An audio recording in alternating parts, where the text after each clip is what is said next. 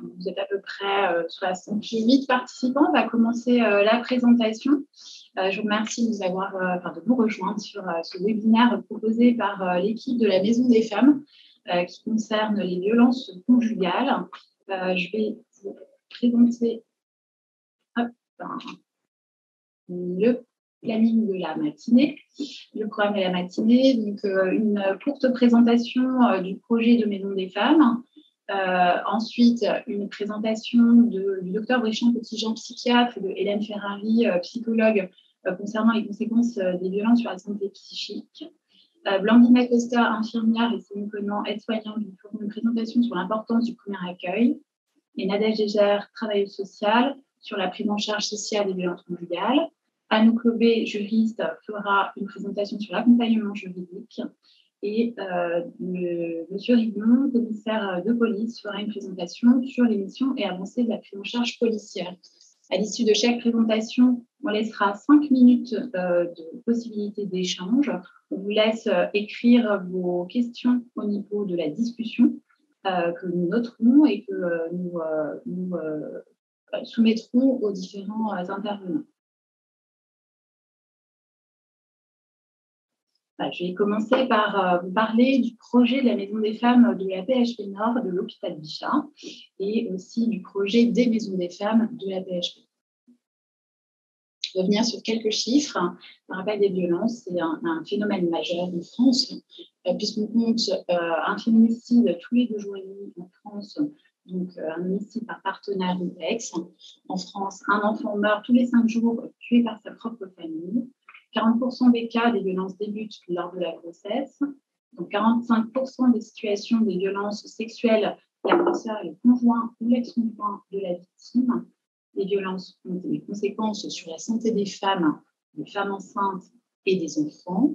Et euh, le corps médical euh, est un premier recours pour les femmes ayant subi des violences.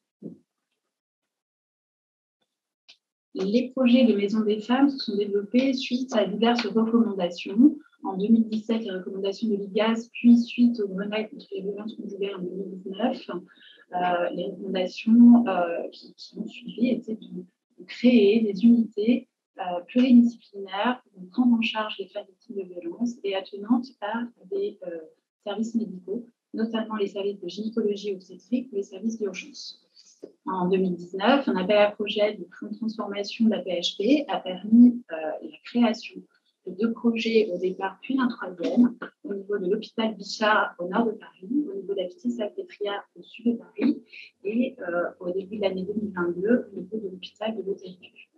Le projet de l'hôpital Bichat est un projet du département médico-universitaire de gynécologie périnatalité de la PHP Nord, qui inclut six maternités au nord de Paris, ce qui représente 4 000 naissances par an sur trois départements, avec trois maternités parisiennes, la Rivoisière, euh, l'hôpital Robert Debré, l'hôpital Bichat, sur le 92, l'hôpital Gauche, l'hôpital Louis Moulier, et sur le 93, l'hôpital Jean. Les objectifs de la Maison des femmes de Bichat, c'est d'être un lieu ressource pour les femmes et les professionnels de prise en charge et de formation au sein du département médico-universitaire de gynécologie et périnatalité et de proposer une prise en charge par une équipe pluriprofessionnelle que je vais vous décrire sur la diapositive. Au sein de la structure, euh, il y a donc une sage-femme c'est moi, une aide-soignante, une infirmière, une psychologue, euh, quasiment toutes à 100%. Une euh, psychiatre a rejoint l'équipe en début de janvier 2022 euh, pour une journée par semaine. On est en correspondance avec une gynécologue de l'hôpital Bichat, de la maternité, et une sexologue de l'hôpital Robert Debré qui fait des interventions dans, notre unité. Nous avons l'intervention à mi-temps d'une travailleuse sociale qui est employée par l'association Alp Aide aux femmes battues, une association euh, qui euh, œuvre euh, contre les violences faites aux femmes, contre les violences conjugales, et qui est financée par la Ville de Paris. Il y a l'intervention une journée par semaine d'une juriste du CIDFF de Paris, qui vous expliquera plus précisément ses actions, et l'intervention une matinée par semaine, le jeudi matin, des policiers des brigades locales de protection des familles du Nord Paris, du deuxième district, qui sont les arrondissements situés au nord de Paris et qui prennent des plaintes des patients que nous suivons dans le service. Nous avons également pris en, mis en place des ateliers autour de l'estime de soi, de remobilisation corporelle euh, et d'accompagnement et de soutien pour les patientes. Euh, évidemment, la Maison des femmes euh, est située dans un réseau hospitalier, mais également dans un réseau avec les différents acteurs du territoire et différents acteurs de ville, avec évidemment les maternités et CHU DMU, les UMJ, les autres maisons des femmes, les, les, unités de prise en charge pour l'enfance maltraitée au sein des hôpitaux pédiatriques, les associations d'aide aux victimes, la police, les associations juridiques et les avocats, le réseau médical de ville, le réseau santé mentale et psychotrauma, les PMI, euh, l'hébergement, les services sociaux de la ville de Paris, dont une convention avec la Caisse d'allocation familiale, et enfin la ville de Paris, l'Observatoire parisien des violences faites. Le parcours patiente euh, est le suivant. Après repérage des violences, la rencontre avec une patiente, euh, les femmes peuvent nous être orientées vers la maison des femmes pour qu'on puisse les recevoir sur rendez-vous, évaluer leurs besoins et réfléchir avec elles à leur prise en charge en créant avec elles leur parcours de soins. Et on réfléchit ensemble aux orientations coordonnées au sein de la structure ou vers les partenaires. Un bilan très bref. Euh, depuis notre ouverture en mai 2021, nous avons reçu dans notre service 441 patientes. Et depuis le début de l'année 2022, jusqu'à début novembre à peu près, nous avions reçu 288 patientes. Sur la totalité des maisons des femmes de la PHP, on prévoit à peu près sur la fin de l'année d'avoir reçu euh, toutes des femmes confondues 900 euh, patientes, sachant que euh, les projets se développent et il y a également une autre maison des femmes qui s'ouvrira au 2017 en 2023. Les motifs principaux de consultation dans notre maison des femmes, c'est à plus de, des trois quarts les violences conjugales, à peu près 15,5% des violences sexuelles, et on a des orientations par les services médicaux principalement, notamment 49% des services de la PHP, 20% du médical de ville, et on a des orientations par les associations, les services sociaux de la ville euh, et du secteur. Très rapidement, je vous donne les coordonnées, mais qui seront rappelées en fin de présentation et euh, avec des explications tout au long de la matinée sur les modalités d'orientation vers notre service. Je vais maintenant laisser la parole, sans transition, à, au docteur Clara Champetigian, qui est une psychiatre qui intervient dans le service, Madame Ferrari, qui est psychologue dans le service, euh, pour la présentation sur les conséquences des violences conjugales sur la santé psychique des femmes. Et il y aura un temps d'échange à la fin de leur présentation. Je vous remercie.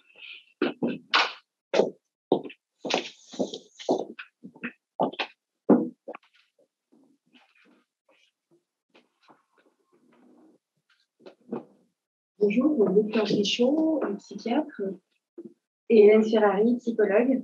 Nous allons vous parler des conséquences euh, sur la santé psychique des violences conjugales euh, chez les femmes.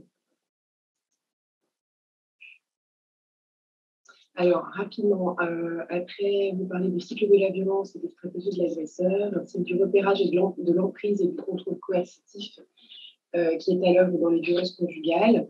Euh, on nous passons brièvement sur les conséquences psychologiques et psychiatriques des violences conjugales. Alors, les violences conjugales, du fait de leurs conséquences néfastes sur la santé physique et mentale, sont un véritable enjeu de santé publique. Leur prévalence reste encore à ce jour trop importante et le dépistage demeure une nécessité qui peut permettre une prise en charge qui soit adaptée pour les victimes euh, à travers la nécessité notamment de poser des questions lors des entretiens sur les antécédents de violence, mais aussi de connaître les symptômes psychiatriques qui peuvent émerger dans les suites de ces violences. Bonjour, du coup, euh, je suis Hélène Ferrari, psychologue, euh, clinicienne sur la Maison des femmes et spécialisée en victimologie. Euh, je viens vous parler aujourd'hui euh, donc euh, des conséquences psychiques des violences conjugales. Donc, les violences au sein du couple s'installent le plus souvent progressivement, en commençant par des violences psychologiques, des violences verbales. ça peut être aussi des violences ensuite physiques et sexuelles, avec une augmentation en fréquence et en intensité au cours du temps. Le cycle de la violence, c'est un cycle qui s'organise en quatre phases dans le temps. Euh, qui se répète dans le temps, donc plus ou moins rapidement, avec une phase euh, euh, d'abord de tension, qui précède une phase de crise, une phase de crise qui est souvent la plus, enfin, avec des violences qui sont les plus visibles. on observe ensuite une phase de justification avec beaucoup d'inversement de, la culpabilité. On va en reparler ensuite. d'inversement de la culpabilité vers la victime. Et ça débouche du coup vers une phase de lune de miel qui, dans un temps parfois plus court ou plus long, va revenir à un climat de tension euh, décrit euh, précédemment. Euh, les violences au sein du couple, elles peuvent prendre plusieurs formes, ce qui rend plus difficile leur dépistage, mais on, observe très souvent un même type de fonctionnement qu'emploie l'agresseur pour... donc, pardon, du coup, qu'emploie l'agresseur pour exercer la domination et continuer les violences. Donc, ça va être isoler la victime, assurer son impunité, dévaloriser, terroriser. Euh, et ça peut être du coup retourner la culpabilité. Ensuite, minimiser les violences, euh, euh, ça peut être du coup d'utiliser les symptômes psychiatriques contre les victimes, donc en s'en servant pour les discréditer vis-à-vis -vis de leur entourage et de la justice. Donc, on va, pouvoir entendre parfois une phrase comme quand elle est hystérique, je suis obligée de la calmer. Euh, et les symptômes psychiatriques ne sont alors pas considérés comme euh, des conséquences des violences, mais au contraire euh, leur cause. Les victimes de violences conjugales, on observe qu'elles sont souvent plutôt identifiées par rapport aux violences apparentes, donc les violences physiques, les violences sexuelles, mais ignorées sur le retrait de leur liberté fondamentale. Donc, euh, ça va être euh, l'interdit de. En fait, on leur retrait euh, leur droit de s'habiller comme elles le souhaitent. On leur retrait aussi leurs activités extérieures, de travailler, d'avoir des espaces d'intimité, des fréquentations. Et, et souvent, ben, on, observe des menaces de mort. elles sont séquestrées, humiliées et, elles peuvent être empêchées de disposer de leurs aides sociales également. La violence conjugale, donc, euh, dans ce que ça, ça m'amène à penser que euh, elles sont toujours en lien avec une notion de pouvoir et de contrôle et euh, d'un individu sur un autre avec une volonté d'emprise. Le contrôle coercitif, ça a pour conséquence justement l'emprise psychologique chez les victimes et ça a toujours pour conséquence un isolement de la victime. On observe aussi que les deux grands freins de la parole, c'est souvent la honte et la culpabilité. Euh, ces violences euh, répétées, chroniques, euh, comme c'est souvent le cas dans les violences conjugales, elles vont avoir un impact de plus en plus important sur le psychisme de la victime, avec aussi des conséquences sur l'environnement social et affectif. Le contrôle coercitif, l'emprise, ainsi que les violences qu'elles subissent, elles ont des conséquences qui sont le traumatisme. les événements traumatiques, c'est des événements brutaux, violents, euh, et inattendus surtout. Et inattendus, donc ils sont désorganisateurs pardon, pour la personne. Le, souvenir de l'événement traumatique, n'est pas soumis à l'usure. C'est-à-dire que du coup, le trauma, il agit comme un corps étranger très longtemps après les faits. Pour la plupart des femmes, euh, l'agression par un partenaire adulte, ce sera la première expérience de victimation. Euh, mais parfois, ça peut aussi arriver dans un contexte d'antécédents de violence et de maltraitance. Euh, par rapport aux études euh, que qu'on a notées, les nombreuses études, elles ont recherché le lien entre les antécédents, entre les antécédents pardon, d'abus physiques et sexuels dans l'enfance et la présence de violences au sein du couple. Et les femmes qui ont été agressées physiquement ou sexuellement dans leur enfance ou qui ont été témoins de violences à l'encontre de leur mère seraient plus à risque de victimation à l'adolescence ou à l'âge adulte, donc que ce soit au sein du couple ou en dehors de couple. On a observé du coup que euh, les femmes qui avaient été agressées physiquement ou sexuellement durant l'enfance ont six fois plus de risques d'être victimes de violences sexuelles et physiques à l'âge adulte. Euh, on a observé aussi que les violences, euh, les, patients souffrant de troubles mentaux sont plus vulnérables euh, et du coup présentent un risque plus élevé euh, d'être victimes de violences euh, et aussi de violences conjugales. Et les symptômes de traumatisme, les symptômes du traumatisme sévère, parfois peuvent être aussi mimer un trouble psychotique, ce qui du coup amène aussi un risque d'erreur diagnostique et de traitement. Et du coup, je te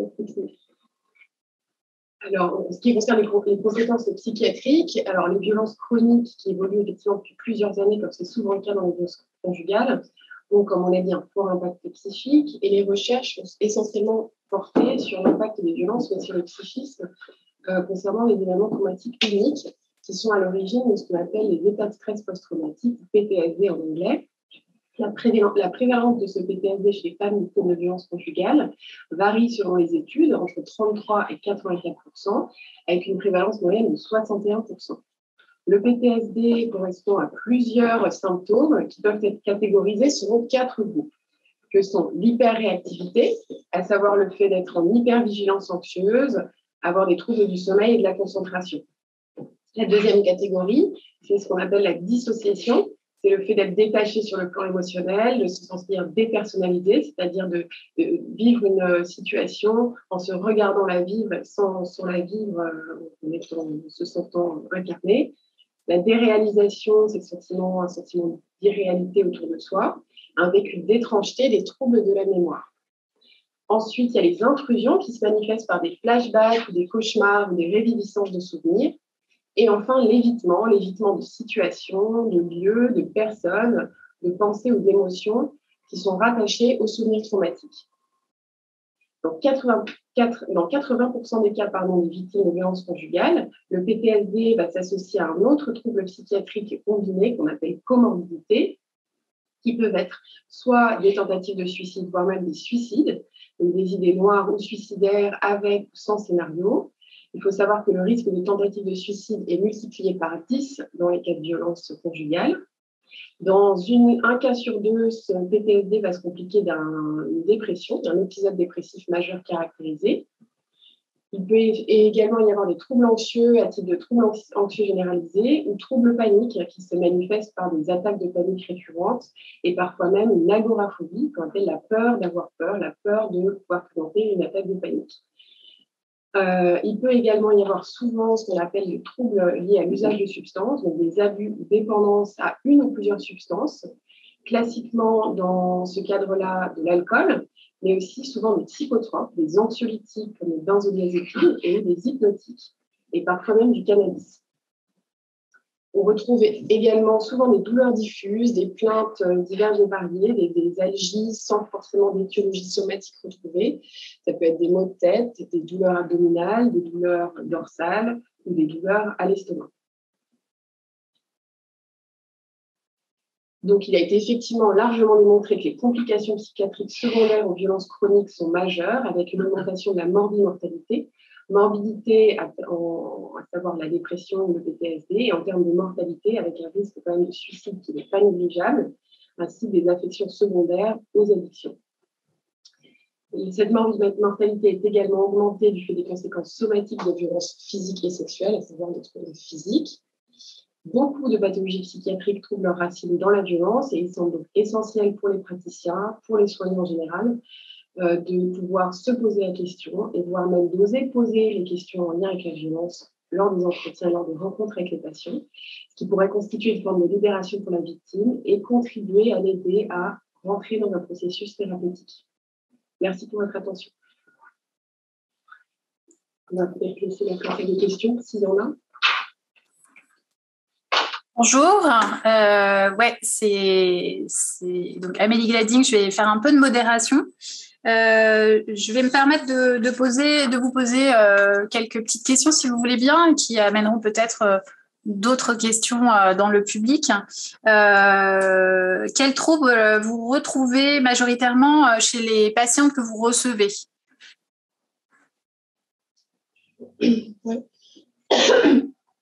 Ce qu'on retrouve très souvent, c'est quand même des états dépressifs euh, avec euh, des états dépressifs qui sont euh, prolongés dans le temps, puisque souvent ces dames arrivent avec des violences qui sont présentes depuis un certain nombre d'années. Et, donc, le PTSD a eu le temps de, s'installer et de se compliquer d'une dépression. Et on retrouve souvent des addictions, je trouve principalement avec une dépendance aux benzodiazépines très souvent et des consommations d'alcool. J'allais dire principalement, c'était ça qui, qui revenait cliniquement, en tout cas dans l'entretien. Merci beaucoup. Euh, peut-être des questions un, petit peu, un petit peu pratiques euh, à ce moment-là sur euh, les orientations. comment est-ce qu'on peut orienter une patiente qui a besoin d'un suivi psychologique ou psychiatrique? Et peut-être quels critères justement d'orientation sont à privilégier? Euh, bah, j'allais dire quand il y a un tableau psychiatrique qui est vraiment prégnant, euh, type dépression, euh, il, faut, il faudrait déjà que. alors, on fait, on fait souvent. c'est une question qui n'est pas simple parce que ça dépend pas mal des situations. il y a des cas où, effectivement, un soutien psychologique ou psychothérapie peut être. Suffit et dans ce cas-là, c'est surtout Hélène qui va recevoir les patientes. Euh, parfois, les patientes ont un tableau psychiatrique trop prononcé, notamment une dépression qui est trop importante, avec du coup des troubles de la concentration, des difficultés musique, un gros ralentissement, une, une, fatigue importante, et qui dans ce cas-là euh, nécessite, voire même parfois risque suicidaire, et qui dans ce cas-là nécessite souvent une médication euh, dans un premier temps, qui permet à la patiente de pouvoir quand même retrouver un certain niveau euh, d'énergie, euh, des capacités cognitives qui sont, qui sont de meilleure qualité et qui lui permettent ensuite de pouvoir s'engager dans un processus thérapeutique de, psychothérapie pour, mieux comprendre ce qui, ce qui, lui arrive. Et euh, c'est vrai qu'on je pourrais ajouter que finalement, l'orientation, elle se fait aussi quand euh, la personne, euh, soit dans l'entourage, soit dans les victimes, que, enfin, les, patientes que vous recevez, quand du coup, elle, vous exprimez aussi un besoin d'aller d'aller après plusieurs années, par exemple, ou après quelques mois, dire bah là maintenant je peux parler des violences et je veux parler de ce qui m'est arrivé. Et souvent, bah, la maison des femmes, l'orientation, elle est aussi parce que la personne avait le déclic à ce moment-là. Donc, euh, donc voilà, ça va être surtout aussi euh, dans le, quand la personne est prête. Et ça, c'est, je pense, euh, très important, c'est quand elle est prête. Merci beaucoup pour, pour ces précisions et pareil aussi, enfin quelque chose d'assez pratique. Euh, voilà, l'offre euh, de soins en santé mentale euh, est, assez compliquée et assez difficile d'accès. Est-ce que vous pouvez préciser à la Maison des femmes quel est le délai d'attente pour avoir un premier rendez-vous? Là, je parle d'un premier rendez-vous peut-être plus précisément dans une prise en charge psychologique ou psychiatrique en relation avec les violences? Oui, effectivement, il y a les premiers entretiens avec euh, une infirmière de la structure. Ça, ça se fait assez rapidement, je dans les 15 jours. Euh, mes collègues en parleront. Après, rendez-vous avec un psychiatre si nécessaire. Euh, J'allais dire, j'ai des délais de 2 à 3 semaines. Je ne sais pas si ça répond à, la question. oui, à peu près. Et puis, moi, je suis plutôt sur une relation qui va être, après, par mes collègues, du coup, infirmières et aides-soignantes, ça va être sur, sur 3 semaines, un mois. Euh, et avec des rendez-vous euh, qui peuvent être assez réguliers sur certaines périodes et un peu moins sur d'autres. Mais en tout cas, euh, l'idée, c'est quand même d'être assez avec une prise en charge assez rapprochée aussi pour justement aider dans les moments de l'urgence qui sont, qui sont une durée de six mois après les faits. Quoi. Très bien. J'ai une, j'ai une question qui vous est posée. Euh, et ensuite une autre hein, qu'on va prendre également. Comment peut-on distinguer une patiente atteinte de troubles psychiatriques dus à des violences d'une autre patiente atteinte de ces troubles pour une autre raison? Euh, Alors, je ne suis pas sûre de bien comprendre la question. Est-ce que tu veux répéter, Amélie, peut-être? Alors, ouais, je, vous la lis hein, telle qu'elle est écrite. Euh, comment peut-on distinguer une patiente atteinte de troubles psychiatriques dus à des violences d'une autre patiente atteinte de troubles psychiatriques pour une autre raison? Euh, Peut-être que c'est. Euh, peut-être qu'on peut comprendre cette question sur face à des troubles psychiatriques, voilà, quelle part peut-on peut-on imputer éventuellement aux violences? Peut-être en termes de prise en charge euh, et puis de, repérage d'événements euh, d'événements antérieurs oui. Alors après, bah, il va y avoir essentiellement l'aspect chronologique. C'est vrai que si effectivement il y a des violences décrites et qu'il a, y a des, symptômes dépressifs qui, se, qui chronologiquement s'installent au décours, bah, euh, ça, va, plutôt, plutôt pencher vers, euh, vers, le fait que la dépression soit en lien avec ces violences-là. Après, troubles psychiatriques, c'est assez large. Euh, si, effectivement on parle de schizophrénie, troubles bipolaires, ça, c'est des, troubles qui s'installent au début de l'âge adulte, hein, entre la vingtaine et la trentaine. Euh, et qui s'installent. Euh, L'origine, elle est biopsychosociale, elle n'est pas uniquement liée à des violences, elle est liée à des vulnérabilités biologiques, à un contexte social, à des facteurs psychologiques. Donc, c'est compliqué d'imputer une schizophrénie ou un trouble bipolaire uniquement à des violences. Euh, parfois, par, par, contre, ce qu'a ma collègue tout à l'heure, c'est que ces personnes-là sont plus vulnérables aux violences de par leur trouble psychiatrique.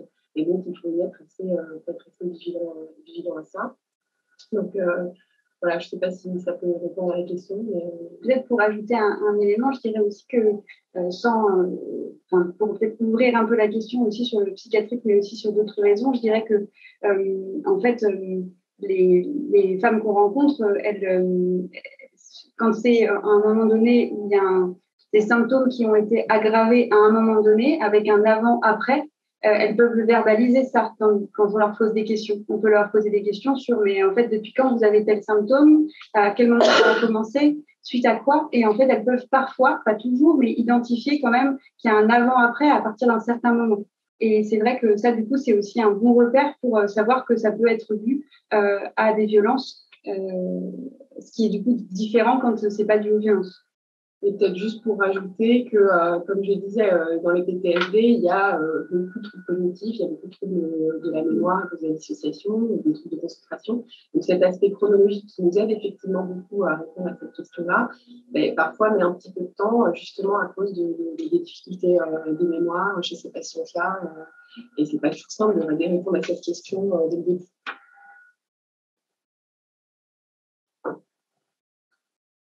On va prendre une dernière question. Après, il y a d'autres questions qui concernent plus euh, les différentes prises en charge. Euh, peut-être répondre à celle-ci. Euh, concernant les violences sexuelles, où orientez-vous les femmes? Les violences sexuelles. on oriente du coup vers le CFCV, le collectif féministe contre le viol, qui peuvent être assez disponibles téléphoniquement pour le soutien en urgence. Euh, et euh, parfois aussi euh, avec une prise en charge qui peut être longue téléphoniquement, puisque du coup, c'est une prise en charge anonyme et téléphonique, avec des gens qui sont quand même formés à la question des violences sexuelles.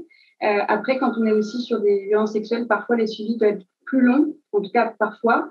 Et du coup, on est aussi à orienter vers le centre régional de psychotrauma, donc peut-être aussi se diriger, diriger, vers eux quand il s'agit de violences sexuelles. Oui, non, ça, ça, je rejoins ma collègue, c'est qu'effectivement, on reste quand même une structure euh, euh qui, nécessite euh, certains, une, certaine temporalité. Donc, on fait beaucoup d'évaluations orientation, c'est-à-dire qu'on peut suivre les, les femmes, mais euh, on va dire, on se laisse six mois. Quand, on est sur des, des, des, des troubles de personnalité, des antécédents de violence chroniques depuis l'enfance, euh, avec des traumas, ce qu'on appelle les traumas complexes, euh, c'est-à-dire des traumas qui viennent révéler d'autres traumas sexuels dans l'enfance. Et donc, effectivement, il y a eu des remaniements de personnalité. Euh, on est sur des choses assez lourdes. Euh, on démarre effectivement une prise en charge, mais on oriente du coup euh, plus vers alors, soit des CMP, des centres psychologiques, soit le centre de psychotrauma, quand on sent que effectivement on va partir sur plusieurs années de, thérapie. Euh, voilà, c'est dans certaines situations. merci beaucoup bah, pour votre présentation. Je pense qu'on va pouvoir passer à la présentation suivante.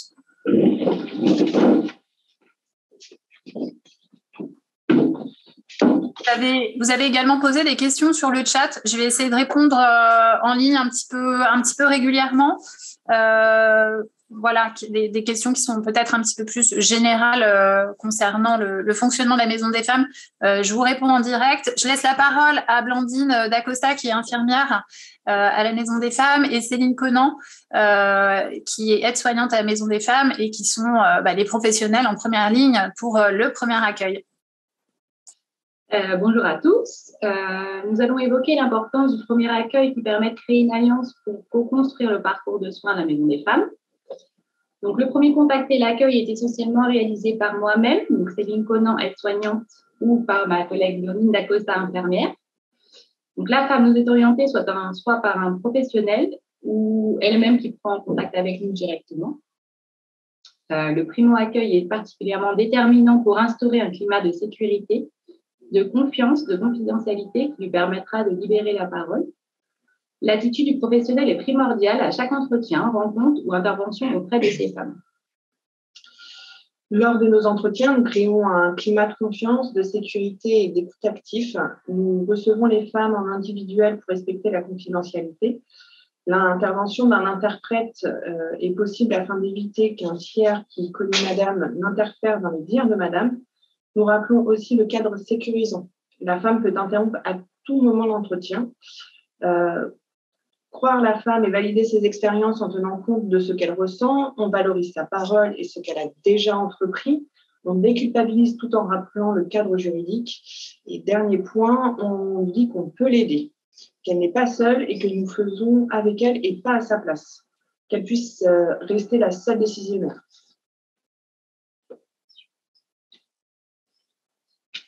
Euh, lorsqu'elles viennent, euh, ça peut être pour la première fois qu'elles évoquent des violences avec des professionnels.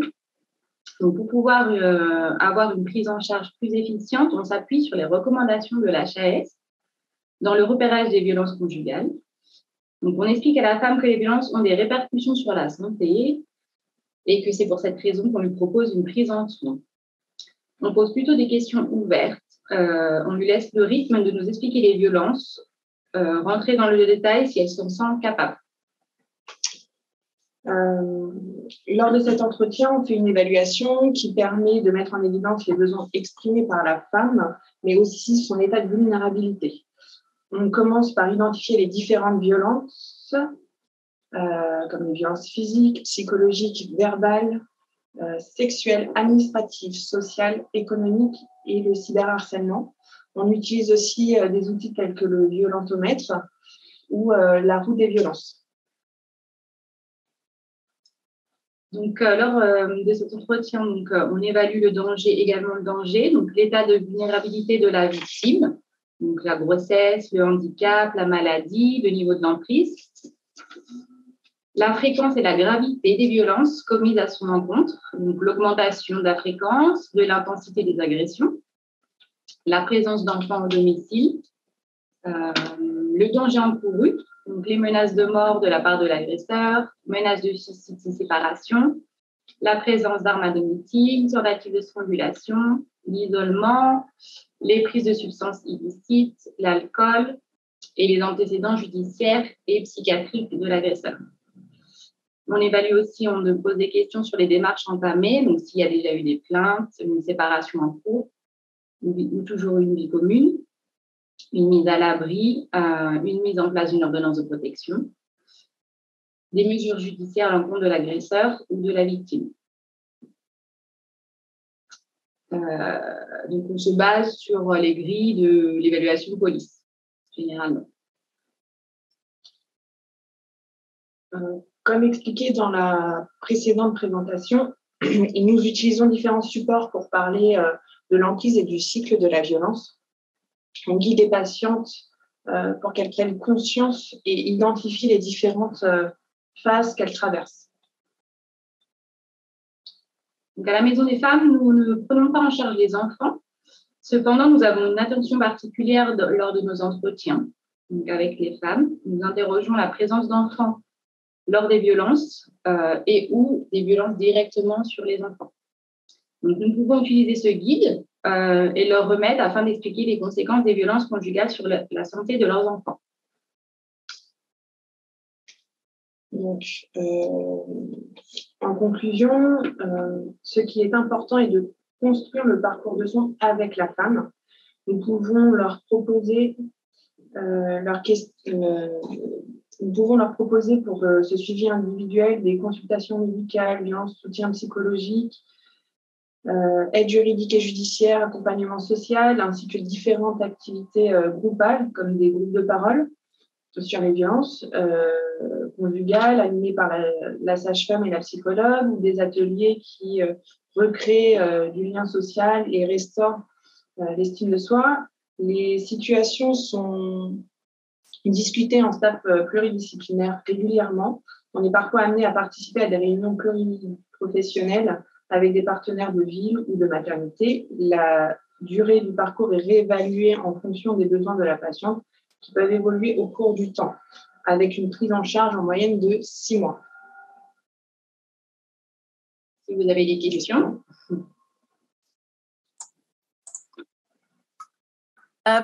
Merci beaucoup, euh, Céline et Blandine, de votre, de votre présentation. Il y a effectivement euh, des questions que je vais vous faire remonter. Ce que je peux déjà vous dire et ce que j'avais évoqué euh, dans la présentation de départ, c'est que nous travaillons en réseau et concernant, il y a des questions qui concernent les enfants plus particulièrement. Et donc, concernant les enfants, vraiment, quand on a des, difficultés, on s'appuie sur les services de la CRIP et au niveau médical, on s'appuie sur les services qui ont été créés au sein de euh, l'hôpital Necker, l'hôpital Trousseau et l'hôpital Robert Debré pour euh, les orientations euh, des, des, mineurs qui peuvent être éventuellement co-victimes. Donc, les questions qui sont posées, c'est une prise en charge des enfants co-victimes est-elle possible à la Maison des Femmes, ce qui a bien été proposé? Sinon, où adresser? Et là, c'était plus particulièrement les orientations au niveau psychologique. je vais vous laisser répondre.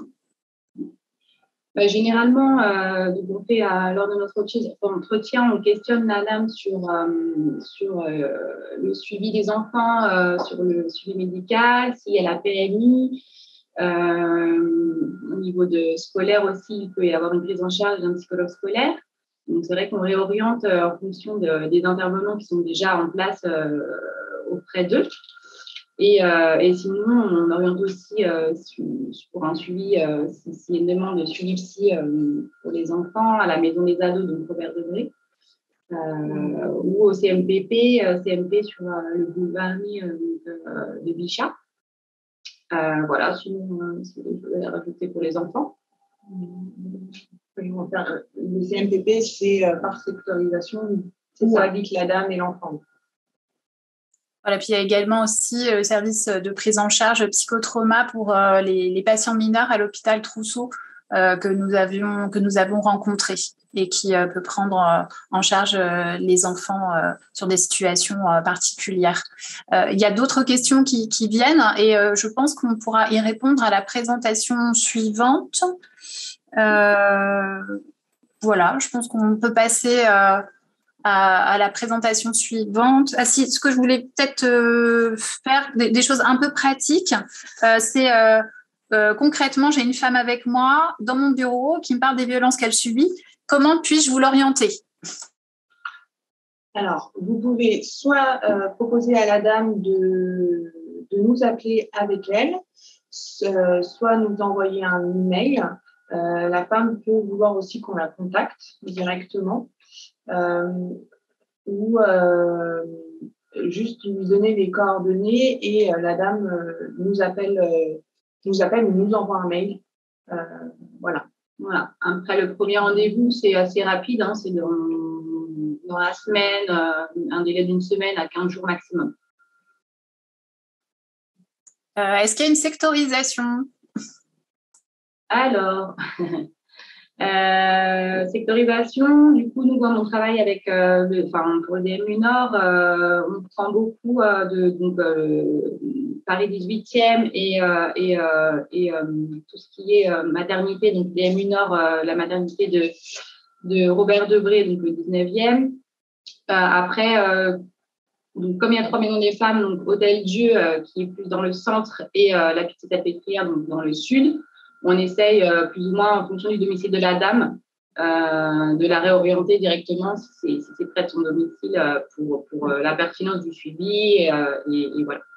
On suit des dames qui vivent dans le 93, dans le 92 aussi avec parce qu'on travaille avec.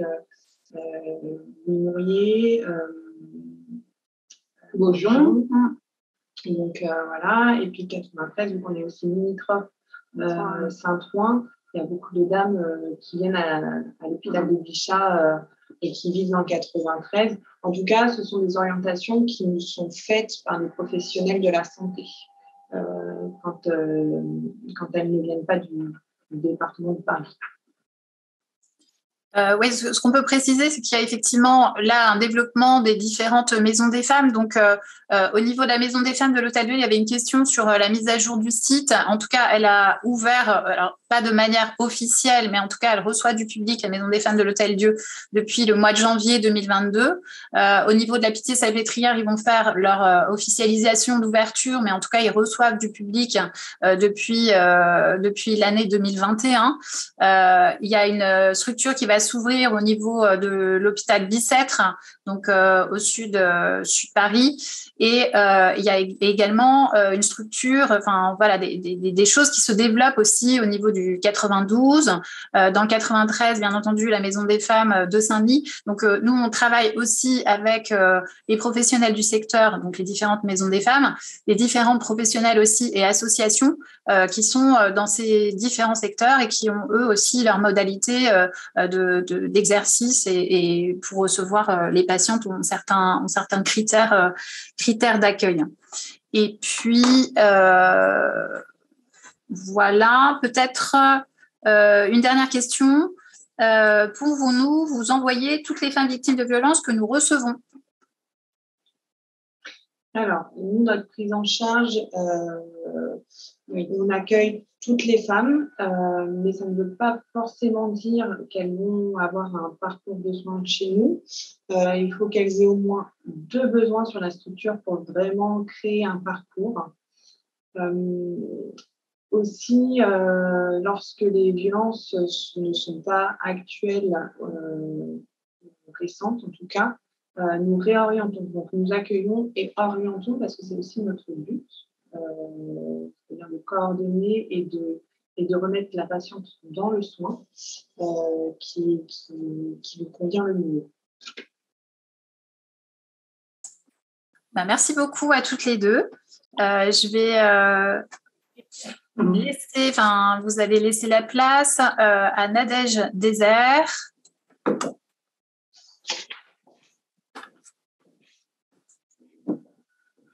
Voilà, donc a Nadège, euh, Nadège Désert qui prend place, qui est notre euh, travailleuse sociale à mi-temps dans la structure, un mi-temps qui est partagé avec euh, l'hôpital Hôtel Dieu. Nadège intervient dans la structure depuis la fin du mois de février 2022 et euh, elle est donc employée par euh, l'association Alted aux femmes battues. Elle va vous, voilà, vous expliquer la prise en charge euh, au sein de la Maison des femmes. Et il y a une question qui a déjà été posée et je pense que Nadège, tu y répondras. C'est si la femme informe que des enfants sont témoins des violences, qu'est-ce qui est proposé, quelles orientations et quelles démarches? Voilà, donc il y aura des réponses dans ta présentation je te laisse, euh, je te laisse la main. bonjour à tous et à toutes. Donc, euh, comme euh, le présentait ma collègue, je suis Désirée Modèle, intervenante sociale. Je travaille pour deux associations, Alta de femmes battues et Libre Terre de femmes, qui sont donc deux associations spécialisées dans la prise en charge et l'accompagnement des femmes victimes de violences. je réalise les permanences sociales de la Maison des femmes de Bichat et de l'Hôtel Dieu. et c'est dans ce cadre, c'est dans le cadre d'un appel à projet organisé par la ville de Paris que cela est possible puisque la ville de Paris finance ces deux associations euh, pour la mise en place euh, de mon poste. Euh, donc, en effet, on sait aujourd'hui que les violences conjugales, elles peuvent avoir, et les violences faites aux femmes de manière plus générale, peuvent avoir des conséquences sur la situation sociale des femmes, euh, puisque ça peut créer un isolement et une, vulnérabilité euh, chez ces femmes-là. Euh, pour revenir un petit peu plus sur les violences conjugales, par exemple, avant la séparation, ce sont souvent des femmes qui sont très isolées par leurs compagnons, qui sont dépréciées, dévalorisées par leurs compagnons, donc qui sont dans une situation de grande vulnérabilité. Ce sont des compagnons qui peuvent être dans le, contrôle administratif, dans le contrôle économique, ce qui peut parfois créer une forme de dépendance envers le conjoint. Parfois, pendant ou après la séparation, ce sont aussi des périodes de grande vulnérabilité pour ces femmes, puisqu'il faut qu'elles puissent trouver les ressources nécessaires pour mettre en place différentes démarches, trouver un logement, un hébergement, faire face à l'éducation des enfants, faire face à certaines dépenses. Et donc, le but des permanences sociales sur l'objectif, en tout cas, des permanences sociales sur la Maison des Femmes, c'est vraiment de permettre aux femmes qui sont accueillies à la Maison des Femmes d'avoir accès à un suivi social, à des conseils, et donc de pouvoir accompagner dans ces différentes périodes qui ne sont pas toujours, euh, toujours euh, faciles. Euh, mes missions, euh, donc pour revenir sur mes missions euh, plus précisément sur la Maison des Femmes, donc c'est bien sûr d'accueillir ces femmes-là sur les permanences sociales, de proposer une écoute bienveillante et de m'ajuster dans l'accompagnement qui leur est proposé, c'est-à-dire de, faire en fonction de leurs besoins, de, de leurs attentes, en fonction d'elles. Et c'est important que ce ne soit pas l'inverse, donc c'est moi qui m'ajuste aux femmes dans l'accompagnement de permettre aussi euh, bah, de, de, créer une certaine forme de réassurance, de confiance en elles, de leur permettre de réaliser qu'elles ont aussi un pouvoir d'agir et qu'elles peuvent faire et qu'elles vont y arriver euh, à mettre en place toutes ces démarches, parfois avec notre soutien, mais aussi euh, d'elles-mêmes. J'interviens aussi sur les, les situations d'urgence, donc avec de la mise en sécurité. Euh, lorsque les femmes sont euh, dans des situations extrêmement complexes, où il y a un danger euh, imminent qui se présente pour elles, lorsqu'elles sont encore au domicile parfois, et qu'elles veulent s'extraire du domicile, c'est aussi pouvoir leur proposer des solutions de mise en sécurité avec différentes structures qui le proposent. Euh, c'est aussi pouvoir proposer un accompagnement social global, euh, c'est-à-dire répondre à toutes leurs questions, comme je l'ai dit euh, précédemment, c'est-à-dire les questions de logement, les questions en lien avec la précarité, l'ouverture des droits, etc. Vraiment toutes les, les questions sociales qu'elles peuvent avoir en lien avec ces violences-là, c'est y répondre et pouvoir les conseiller c'est aussi se mettre en lien avec les différents acteurs sociaux, puisqu'en général, on n'est jamais seul sur ces situations-là. Euh, pour exemple, on a déjà accompagné euh, des femmes qui étaient donc suivies à la maison des femmes de l'hôpital Bichat, mais qui étaient aussi parfois hospitalisées ou suivies euh, au sein de la maternité de l'hôpital ou dans d'autres hôpitaux. Donc, c'est aussi se mettre en lien avec ces services-là, avec les assistantes sociales des services de maternité, d'autres services sociaux, et pouvoir euh, coordonner nos actions sociales ensemble, euh, c'est vraiment une prise en charge qui est complémentaire. On n'est pas là pour, euh, pour se substituer au suivi qui est déjà mis en place et des acteurs qui sont déjà très organisés et efficaces autour de ces situations. Donc c'est vraiment être là en soutien et apporter un autre regard sur les violences, sur les violences conjugales ou sur les violences qu'elles peuvent vivre ou avoir vécues. on est aussi très sollicité par, par les autres services sociaux euh, notamment les unités euh, parents-bébés, les centres maternels, les autres structures sociales, les assistantes sociales scolaires, quand elles rencontrent effectivement les familles ou les femmes qui sont victimes de violences. Euh, c'est pouvoir aussi les accompagner, mettre en mots un petit peu les violences qu'elles vivent et pouvoir apporter quelques éclaircissements dans les situations, en tout cas dans leur situation sociale, et pouvoir bah, travailler en lien avec ces autres acteurs sociaux c'est aussi travailler euh, l'orientation euh, de ces, femmes quand c'est nécessaire, puisqu'on n'a pas euh, tous les mêmes outils sur, des services. donc, c'est aussi pouvoir les orienter vers le secteur, vers d'autres associations qui peuvent davantage répondre à leurs besoins. Donc, c'est vraiment prendre en compte la singularité de, la femme et donc de pouvoir eh co-construire avec elle son parcours. Euh, on a, donc, comme je disais, le secteur, les associations.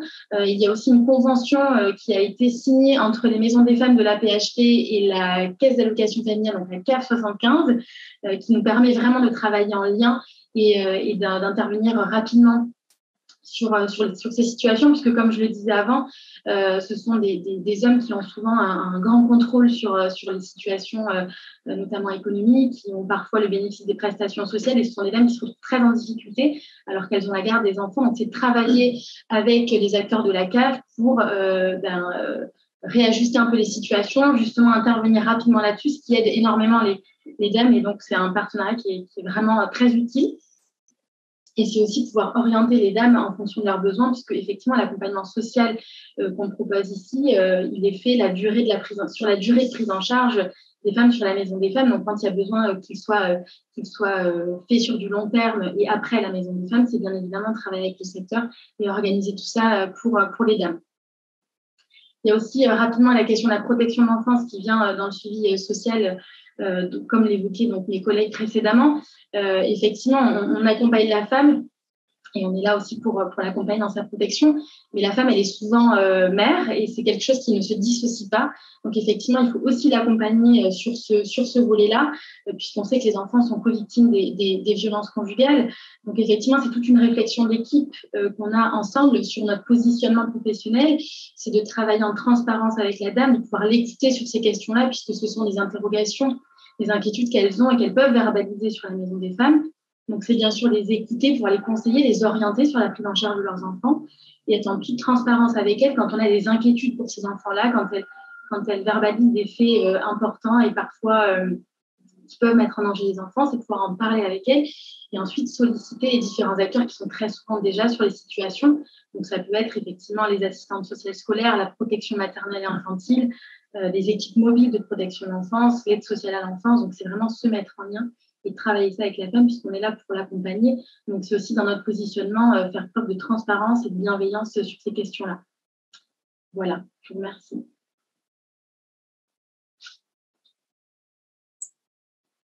Merci beaucoup euh, Nadège pour, euh, pour ton intervention qui est très claire. Je vais te poser peut-être euh, une petite question un petit peu plus euh, particulière concernant euh, les critères d'une mise en sécurité. Qu'est-ce que c'est peut-être plus précisément une, mise en sécurité? Et on a également une question dans, dans le public, c'est bah, justement quels sont les dispositifs d'hébergement à votre disposition et sous quel délai? Alors, euh, j'essaie de répondre aux deux. Donc, la mise en sécurité, c'est quelque chose qui se discute avec, euh, qui en tout cas qui se parle avec, euh, avec la dame. Il faut que ce soit choisi et voulu par la dame. Euh, la mise en sécurité, elle se sollicite lorsqu'il y a effectivement un danger imminent dans la situation, lorsqu'elle est encore au domicile conjugal, par exemple, c'est un vrai danger ou qu'elle a quitté le domicile, mais qu'il y a encore des menaces de la part du compagnon, en tout cas qu'il y a un danger pour sa sécurité, on peut effectivement mobiliser la mise en sécurité, qui se fait en général sur un, temps donné. Hein, c'est pas quelque chose qui dure euh, des mois et des mois, mais ça permet à la dame d'être mise en sécurité pendant quelques temps, une semaine, un mois, et de pouvoir euh, prendre ce temps-là, être en sécurité et prendre ce temps-là pour faire les démarches le dépôt de plainte, solliciter une aide juridique, euh, etc. Parce qu'on sait qu'en étant au domicile, c'est compliqué pour ces dames-là euh, de solliciter ces dispositifs et de mettre en place ces démarches. Donc, c'est les accompagner sur ces mises en place de, mise en sécurité, mais effectivement, il faut justifier d'un danger, puisque si c'est une question d'hébergement, c'est une question uniquement de logement, parce qu'elles n'ont plus lien avec l'agresseur, parce qu'elles ont bénéficié d'une mesure de protection et qu'elles elles ne sont plus, elles ne, elles rencontrent plus de danger imminent. Dans ce cas, c'est un problème d'hébergement et on ne peut pas solliciter le dispositif de mise en sécurité. Je ne sais pas si c'est très clair, mais, mais, voilà. Et l'autre question, je ne m'en souviens plus. Alors, l'autre question, c'est quels sont les dispositifs d'hébergement? À votre disposition Sous quel délai? Alors, les dispositifs d'hébergement, c'est la grande question et je pense que tous euh, travailleurs sociaux euh, rencontrent ces difficultés-là. Euh, effectivement, on a la chance euh, avec l'association Alpes et Femmes battues d'avoir un accès privilégié avec le 115 qui effectivement mobilise des chambres euh, dans des hôtels sociaux pour les mises en sécurité des femmes en danger. Euh, mais il faut avoir euh, conscience que c'est le 115, que ce sont des hôtels sociaux. donc les conditions ne sont pas toujours idéales, mais néanmoins, c'est un, dispositif qu'on peut mobiliser. Et en termes de délai, ça dépend.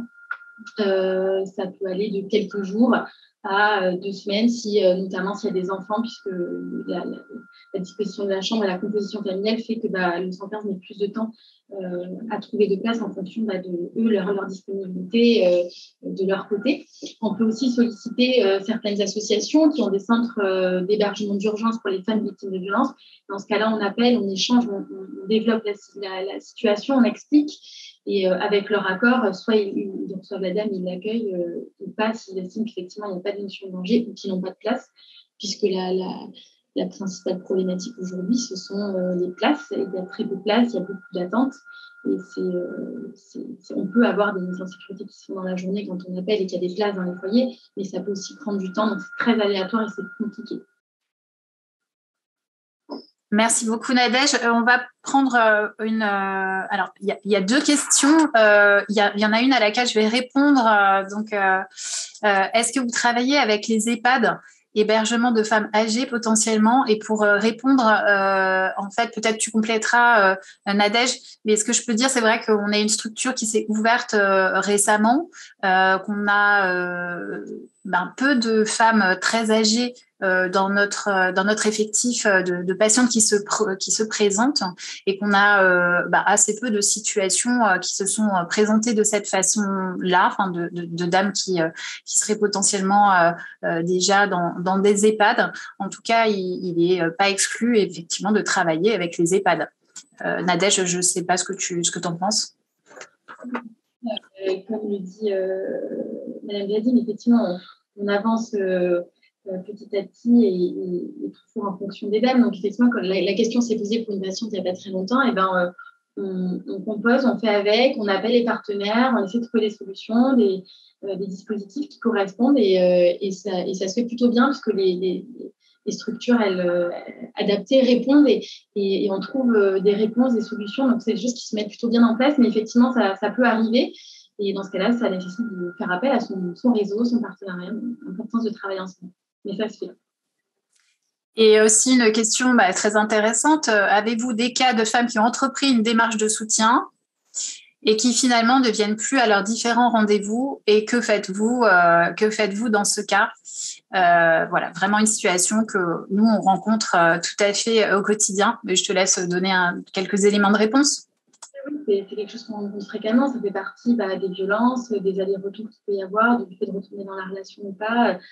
Euh, donc, c'est des choses euh, qui font partie bah, de l'accompagnement et de la prise en charge. Et on est là, euh, on est là malgré tout, c'est-à-dire que même si elles arrêtent l'accompagnement et qu'elles veulent revenir, bien évidemment, on est toujours disponible, on est tout là pour les écouter. mes collègues en parleraient certainement mieux que moi, mais effectivement, ça fait partie de l'accompagnement et des violences, cette, parfois cette emprise, cette ambivalence. Et donc, on fait avec et, on est là, même lorsqu'elles ont de nouveaux besoins c'est quelque chose qui est parlé avec les dames, et si elles ne veulent plus venir à la maison des femmes, effectivement, c'est leur droit. Donc, c'est quelque chose qui se respecte. Euh, voilà, bah, de la personne qui avait déjà posé une question sur le logement et qui faisait une remarque pour la question de l'hébergement. Certaines associations ont un parc de logements locatifs. Euh, le 115 peut être anxiogène et ne pas rassurer pour quitter un logement. Et du coup, savoir sous quel délai on peut faciliter l'accès à un logement pérenne. Bon, tu, tu, tu l'as déjà un peu expliqué, c'est vraiment euh, tout l'enjeu. La différence, en effet, entre ce qu'est une euh, mise en sécurité et l'accès à un hébergement pérenne. Effectivement, ce parc, euh, la, la, question, enfin, la remarque est très pertinente. Justement, ce, ce, parc associatif, en tout cas sur le niveau des logements sociaux, il, peut se mobiliser, mais ça met un certain temps. Donc, parfois, les dames, quand elles sont vraiment en grand danger, il est nécessaire puissent avoir accès à une mise en sécurité pour sortir du domicile et, effectivement se mettre en sécurité, le temps justement de pouvoir mobiliser tous ces dispositifs qui parfois mettent un petit peu plus de temps. Euh, donc voilà, c'est deux choses euh, qui peuvent être complémentaires justement euh, et se faire à la suite ou en parallèle. mais effectivement, c'est des choses qui sont aussi mobilisées pour ces dames-là lorsque la question du logement en plus de la mise en sécurité se, se. Ben, je te remercie Nadège.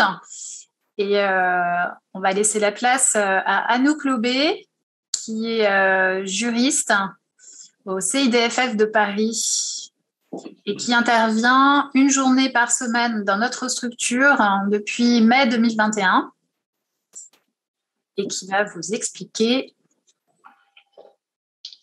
de quoi il s'agit en termes de prise en charge juridique. Bonjour. Alors, effectivement, donc, je suis Anne Cloubet, je suis juriste au CIDFF de Paris, donc c'est le centre d'information euh, du droit des femmes et des familles.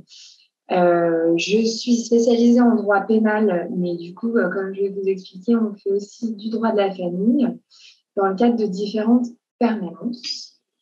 Alors, le CIDFF de Paris, on a différents champs d'intervention donc, on fait des permanences dans le cadre de l'accès au droit, mais on fait aussi de l'accompagnement vers l'emploi pour les victimes de violences conjugales. Et on fait aussi des sensibilisations auprès de différents intervenants, euh, comme la BHP, la police nationale, la police municipale, la CAF, euh, enfin, on forme énormément de personnes aux violences conjugales, euh, mais aussi au sexisme et aux discriminations d'une manière générale, aux violences faites aux enfants. on, a, beaucoup de champs d'intervention. Euh, et je parle beaucoup de violences conjugales parce que du coup, nous sommes spécialisés euh, dans l'accompagnement des victimes de violences conjugales, mais nous faisons aussi du droit pénal et du droit de la famille d'une manière générale. voilà, nos buts, du coup, comme vous le voyez, sont d'accès de favoriser l'accès aux droits pour tous euh, et l'autonomie des femmes et de lutter contre euh, les discriminations.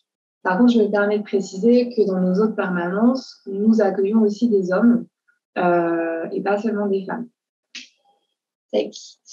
Donc voilà, donc nous intervenons dans les trois maisons des femmes de Paris, donc Bichat, l'Hôtel-Dieu et la Salpêtrière. donc Bichat, du coup, est la, est la première mais nous intervenons aussi dans les maisons de justice et du droit, euh, les points d'accès au droit et les UMJ.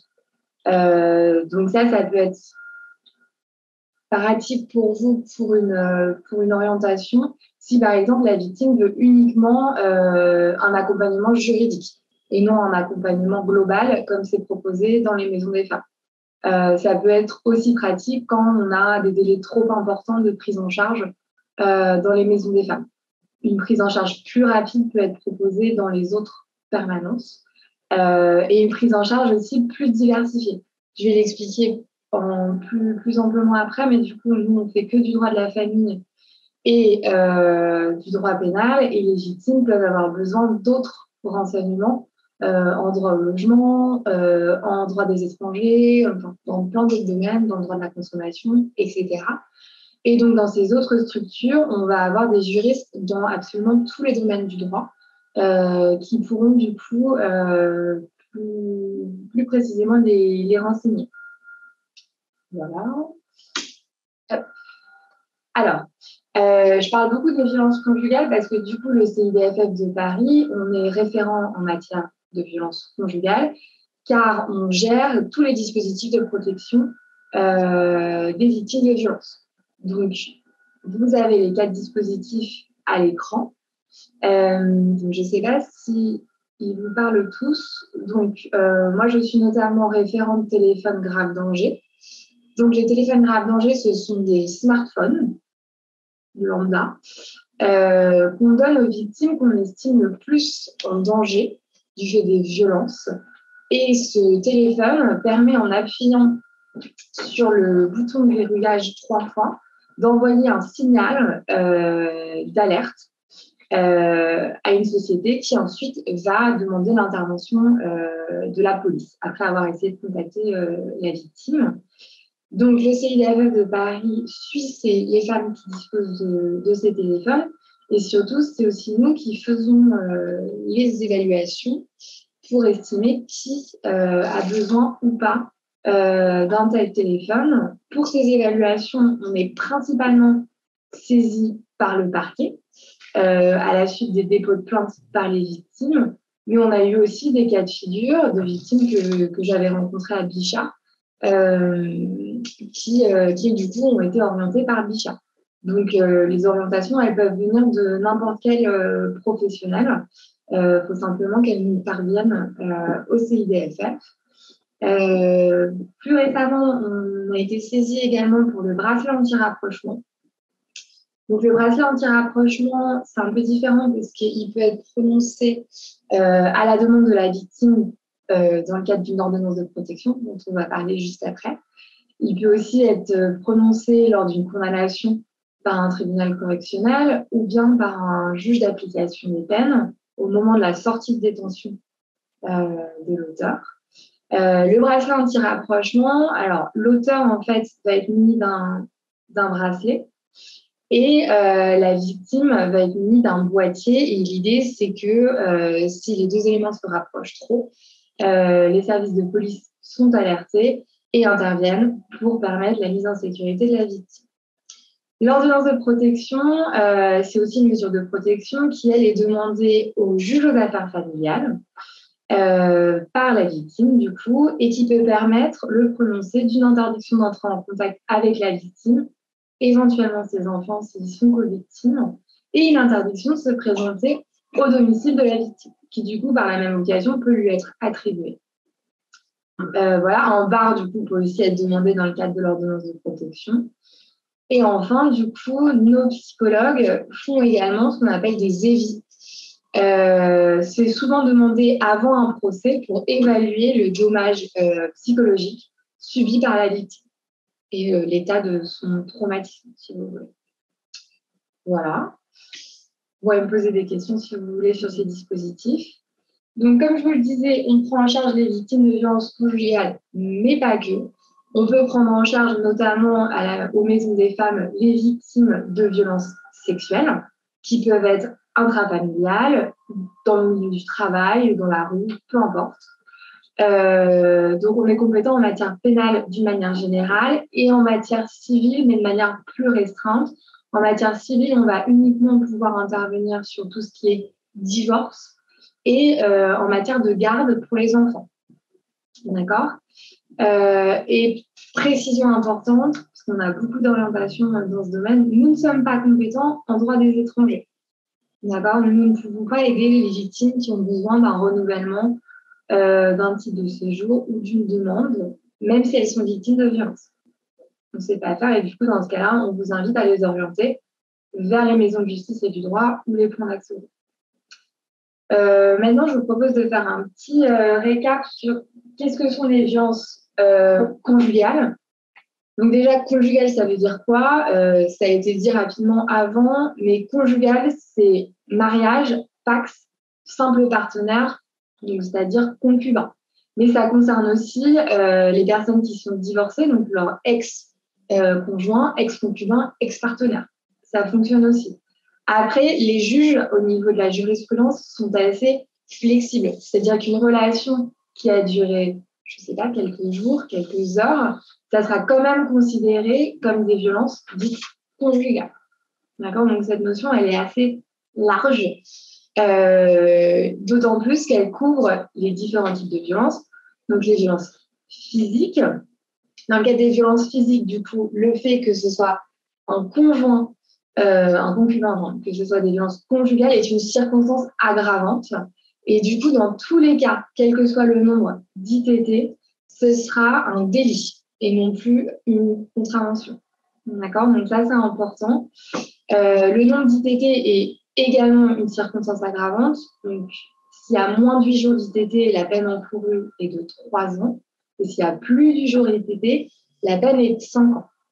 D'accord? Après, s'il y a des mutilations, etc., on peut passer dans le cadre du criminel, mais je ne vais pas rentrer dans, les détails. Euh, les violences habituelles sont également une infraction euh, aujourd'hui euh, qui est de plus en plus souvent retenue dans le cadre des violences conjugales, car on a rarement un temps isolé. Donc, on, on suit aussi les victimes de violences sexuelles dans le couple, donc viol, agression sexuelle, violence psychologiques, donc le mépris, l'indifférence, la dévalorisation, les humiliations, euh, etc. Les violences verbales, donc les menaces, les injures publiques, non publiques, les menaces de mort, et les violences morales, donc les appels téléphoniques malveillants, le harcèlement. Il y a également aujourd'hui le cyberharcèlement, les cyberviolences, euh, tout ce qui est contrôle du téléphone, euh, logiciel espion, géolocalisation, c'est de plus en plus fréquent, les violences économiques et les violences administratives. Voilà. Euh, si vous avez des questions pour des détails sur des infractions, n'hésitez pas. Merci beaucoup Anouk. Ben, déjà, on va prendre une, première question euh, dans le public, euh, très intéressante. Hein. Comment faire quand une femme n'ose pas quitter le foyer car elle a des enfants avec ce conjoint qui n'est pas violent avec les enfants, mais avec sa femme? Alors, pardon, tu peux répéter Comment faire?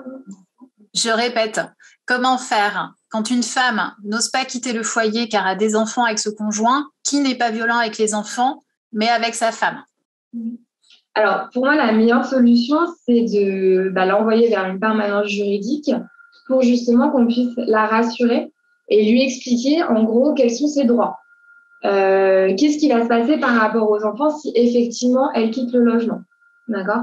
Et aujourd'hui, les enfants sont reconnus comme, comme, comme co-victimes du simple fait d'avoir été témoins des violences. Donc même s'ils n'ont pas eux-mêmes subi des violences conjugales, le juge peut tout à fait, dans le cadre de la garde, euh, prendre en compte le fait qu'ils aient été témoins euh, de ces violences, qui déjà, du coup, euh, les fait rentrer dans le cadre de, des victimes. Et du coup, elle pourra tout à fait demander des visites médiatisées devant le, juge aux affaires familiales et éventuellement une ordonnance de protection avec du coup des visites médiatisées et une interdiction d'entrer en contact avec les enfants pour, pour l'auteur. à quoi elle pourrait prétendre, par exemple, en premier recours? Tu l'as, tu l'as déjà un petit peu expliqué?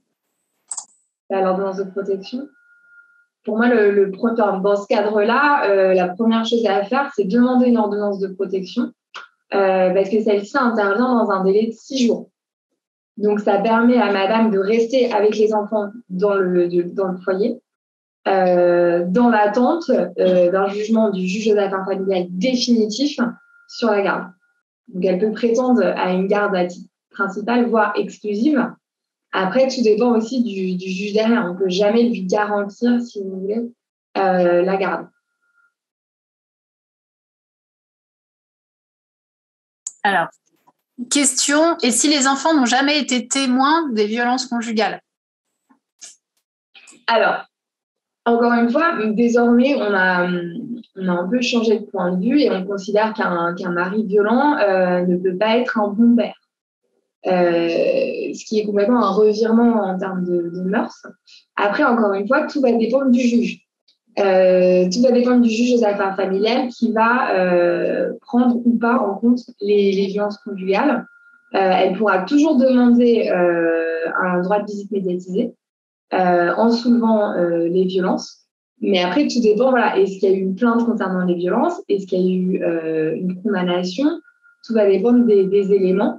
Euh, et du coup, le fait qu'ils n'aient pas été témoins, effectivement, ça, ça peut jouer en la défaveur de la victime euh, dans le cadre de ces demandes. Je te remercie. Et puis, bah, peut-être dire qu'est-ce qu'il ne faut pas dire aux victimes sur le plan juridique?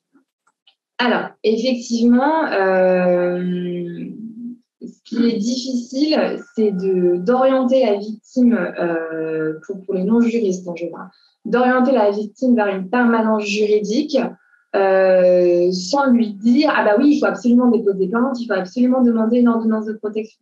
Parce que nous, si derrière, on lui dit l'ordonnance de protection, en fait, dans votre cas, n'est pas envisageable, puisqu'il n'y a pas les conditions requises, par exemple le danger imminent. Euh, celle-ci déjà va pas nous faire confiance en disant bah non en fait euh, ben, on m'a dit que je pouvais avoir une ordonnance de protection, vous me dites l'inverse, euh, je veux voir un autre juriste. Donc voilà, il faut éviter vraiment de s'engager sur le plan juridique parce que du coup nous derrière ça va nous mettre en difficulté et la victime au niveau de la confiance ça va être aussi compliqué derrière. Donc reconnaître que ce qu'elle a subi, euh, c'est très grave, ça c'est important, mais sans pour autant faire d'injonction euh, et de dire vous allez obtenir ça, vous allez obtenir ci, parce que même moi, euh, je ne peux pas émettre de garantie, qu'il y a tellement d'incertitudes au niveau du juge, au niveau de la procédure, c'est important de, se protéger. Donc voilà, ne pas dire ça à la victime, tout, tout pour autant en reconnaissant euh, la gravité des faits. Ça, c'est important. Euh, j'ai une question à nous que dans le public. Euh, dans un couple avec une grande différence d'âge, est-ce une violence de laisser la personne âgée seule à domicile plusieurs jours, sans aide à domicile Est-ce un isolement violent condamnable? Alors, une grande différence d'âge, est-ce une violence de laisser la... Alors, ça peut être une violence dans le cadre de l'aidance effectivement. Ça peut être. Alors, je connais pas le contexte. Il faut voir si la personne d'un grand âge a effectivement besoin euh, d'une aide quotidienne. Euh, donc oui, effectivement, ça peut être reproché euh, au conjoint qui abandonne l'autre conjoint parce qu'il a effectivement une obligation de l'aider dans le cadre du couple. Donc oui, tout à fait. très bien, je te remercie. Et puis peut-être une dernière question Pardon, excuse-moi. Non, tu, tu voulais. Ce qui va être pris en compte, surtout, c'est l'état de santé, en fait, de la personne plus âgée. Parce qu'elle pourrait, elle pourrait être jeune et en mauvais état de santé, et ça serait aussi condamnable, en fait. C'est plus ça le problème. Très bien, je te remercie. Aussi une petite précision concernant le CIDFF. Qui est-ce qu'on n'oriente pas vers le CIDFF Alors, le CIDFF a fait le choix d'accompagner uniquement les victimes. Donc, si vous avez une personne qui est victime, enfin, qui se dit victime, mais qui est aussi auteur, donc par exemple qui est sous contrôle judiciaire ou qui a été condamné pour des violences, vous ne pouvez pas nous l'orienter. Enfin, nous, en tout cas, on ne pourra pas la prendre en charge derrière. Donc moi, je vous conseille plutôt de l'orienter vers les maisons de justice et du droit et les points d'accès au droit, qui, eux, ont des avocats euh, et des juristes d'autres associations qui prennent en charge tout le monde de manière indifférenciée. Très bien, merci de ces précisions, euh, Anouk. Euh, on va passer à la présentation suivante. Présentation par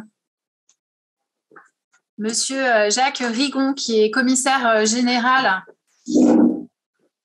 et responsable du deuxième district de Paris. C'est donc le responsable euh, des brigades locales de protection des familles qui interviennent dans, notre structure hein, pour les dépôts de plainte. Donc, six arrondissements du Nord Paris.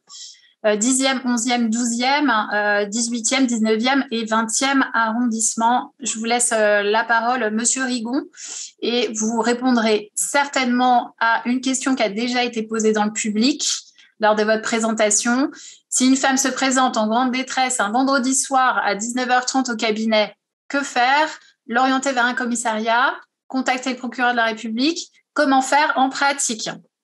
Je vous laisse la parole. Merci, bonjour à, toutes et à tous. Euh, alors effectivement, nous aussi, euh, au sein de la préfecture de police, nous avons pris à bras le corps cette priorité de, lutter contre les violences conjugales et nous avons mis en place euh, beaucoup de choses que je vais vous présenter, des avancées que, que je vais vous présenter en cinq catégories.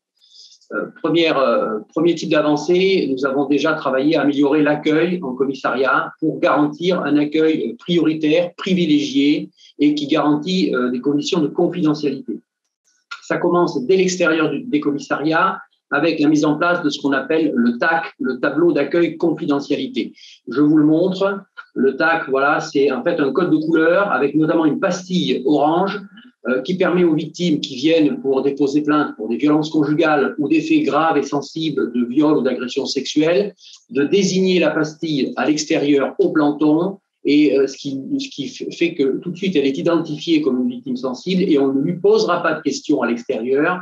Elle est dispensée de faire ce cette première présentation du motif de sa venue à l'extérieur, ce qui est, chacun le comprend, très gênant. Donc, elle est tout de suite identifiée et le planton va l'orienter tout de suite à l'intérieur du commissariat.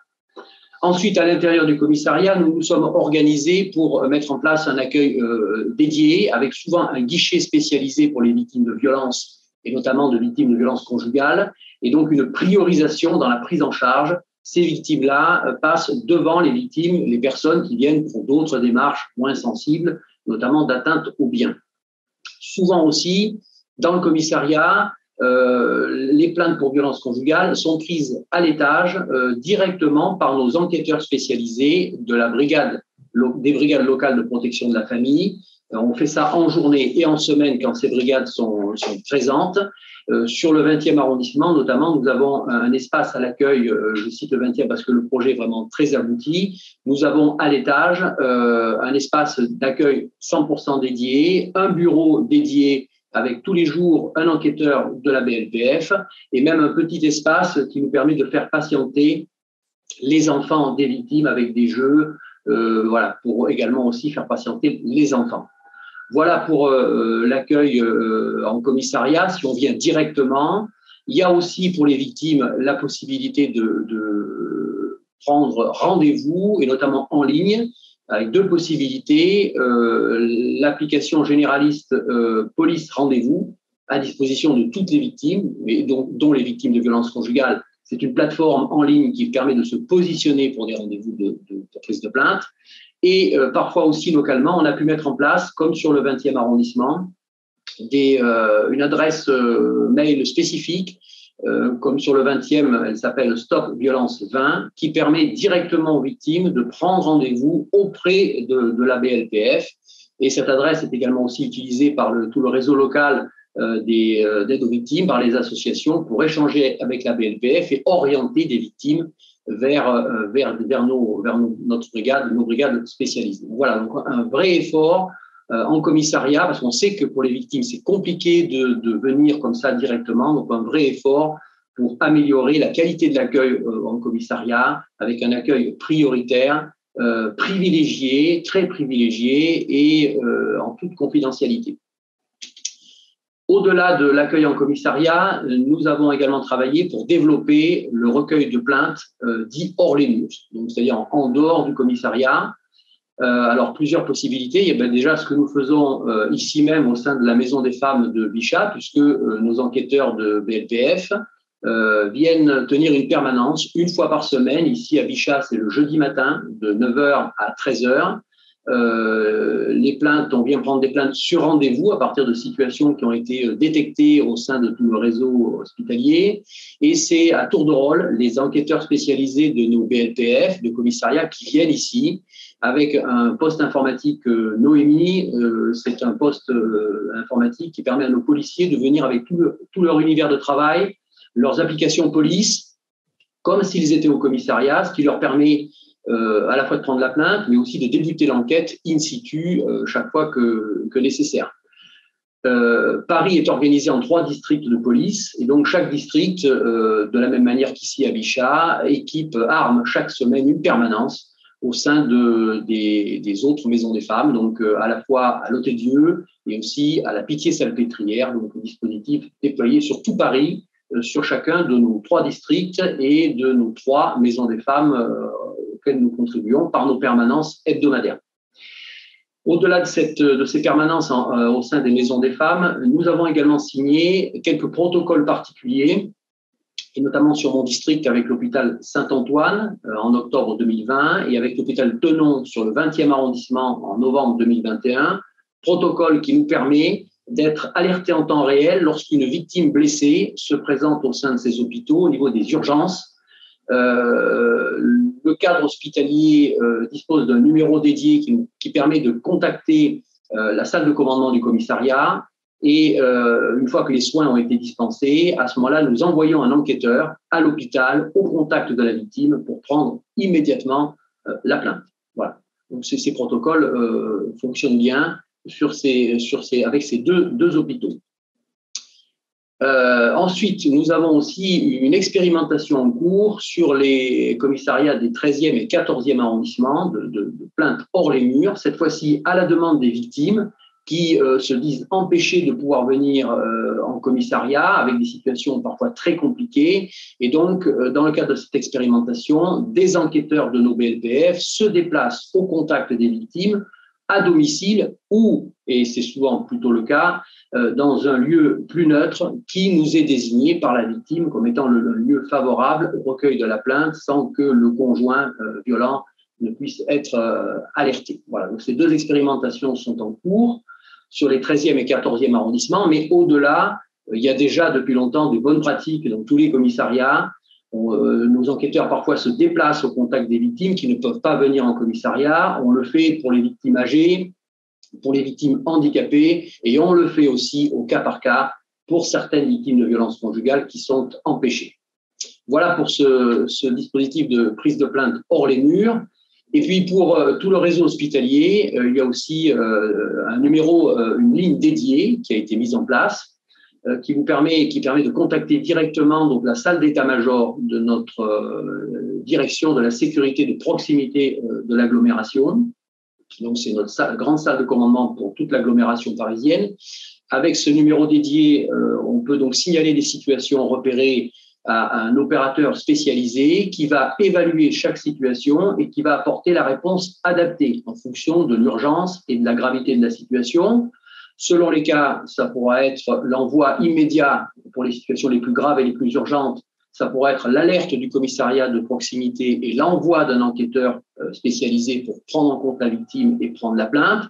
Ça pourrait être aussi pour les situations moins urgentes, euh, l'alerte du commissariat de proximité et immédiatement le positionnement de la victime sur un rendez-vous qui va lui être pris directement par cet opérateur sur notre plateforme euh, dédiée. Comme ça, le rendez-vous est pris immédiatement. Ou alors, pour les situations les moins urgentes, c'est l'information du commissariat de proximité qui ensuite est, chargé de contacter la victime pour organiser les, choses euh, un peu plus sereinement. Voilà, une réponse à chaque fois adaptée à chaque situation et un numéro dédié.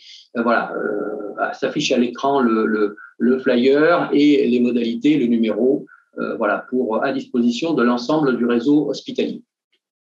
Voilà pour l'accueil des victimes, la prise de plainte avec nos différentes modalités qu'on a voulu varier justement parce qu'on veut euh, éliminer ce chiffre noir et euh, se donner le maximum de chances de dire pouvoir récupérer et traiter chaque situation de violence conjugale. Une fois que euh, la plainte est prise, comment ça se passe en commissariat? Eh bien, nous garantissons désormais une prise en charge spécialisée et globale. Avec au sein des commissariats, nous avons une brigade, chaque commissariat a une brigade locale de protection des familles, donc ce sont des enquêteurs spécialisés, et euh, nous avons également des intervenants sociaux et des psychologues. Euh, ces trois composantes sont souvent regroupées en poules pour justement avoir, être capable d'offrir une, une, une, prise en charge vraiment globale, policière, judiciaire, mais aussi soutien psychologique et orientation et traitement, orientation sociale. Euh, ensuite, euh, dans cette prise en charge, euh, nous avons une politique aujourd'hui de judiciarisation systématique. Nous avons mis fin au recueil par déclaration de main courante. Désormais, systématiquement, on propose la prise de plainte.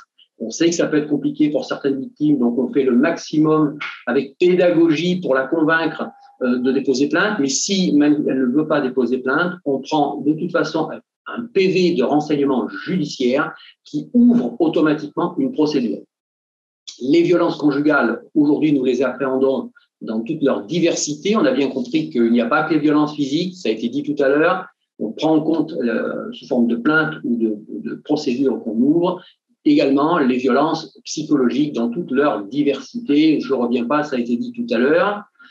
Au niveau de la prise de plainte, du, du recueil de la déclaration, nous avons une grille d'évaluation du danger, donc ce qui veut dire que chaque situation est précisément évaluée pour ensuite euh, pouvoir prioriser euh, les dossiers les plus, les plus sensibles et les plus urgents. Et également aussi, dans le cadre de cette euh, prise de plainte, le parquet désormais est systématiquement et rapidement avisé de toute situation, ce qui nous permet, avec le parquet, de définir la stratégie judiciaire la plus adaptée et encore une fois de prioriser les dossiers les plus urgents. Voilà. Euh, cette prise en charge spécialisée globale, c'est aussi euh, la synergie avec tout le réseau local d'aide aux victimes. On sait que la matière est complexe, elle est plurielle, donc la réponse policière et judiciaire ne suffira pas. Il faut un accompagnement plus global. Donc c'est pour ça que chaque commissariat est en lien avec tout un réseau local très actif d'associations. Et euh, nous avons, savons aussi que parfois il y a euh, la nécessité de, mettre à l'abri en urgence une victime, notamment la nuit. Euh, la nuit, donc deux possibilités pour nos policiers. nous avons une plateforme dédiée qui nous permet de géolocaliser les possibilités d'hébergement, les structures qui existent avec les coordonnées utiles mais on s'est rendu compte que ça ne suffisait pas. Donc, nous commençons à mettre en place en commissariat des safe rooms ou des chambres euh, de mise à l'abri pour la nuit. Euh, le projet le plus abouti sur mon district est sur le 20e arrondissement. Nous avons une petite chambre totalement équipée avec euh, petit lit, armoire, douche, toilette, lavabo, qui nous permet de mettre à l'abri une victime qui manifestement ne peut pas rentrer chez elle le soir où elle vient, la nuit où elle vient déposer une plainte et euh, malheureusement, il n'y a pas de possibilité immédiate avec les, les, structures euh, d'hébergement. Donc, plutôt que de la laisser euh, sur un banc au commissariat ou de la renvoyer, de la remettre entre guillemets dans la nature, ce qu'on ne fait pas, on a désormais cette possibilité digne de, l'héberger pour la nuit. Le matin, le relais est ensuite pris par l'intervenant social et par des associations, en fait, toutes les structures en capacité de trouver un hébergement un peu plus durable. Cette euh, Safe Room sur le 20e euh, fonctionne pour le 20e, mais aussi plus largement pour tous les commissariats de mon district. Elle est aujourd'hui mutualisée. Elle fonctionne depuis le printemps et euh, dernier exemple, ben, la nuit qui vient de se passer, en cette nuit, on a accueilli une victime. On en est à un peu plus d'une dizaine de nuitées pour ces situations vraiment très compliquées où on ne pouvait pas laisser repartir la victime. Il fallait tout de suite, tout de suite trouver une solution pour la mettre en sécurité. Dernier point que je voulais aborder euh, dans les, les avancées euh, de notre côté, ben, c'est la formation des policiers. On a renforcé la formation des policiers.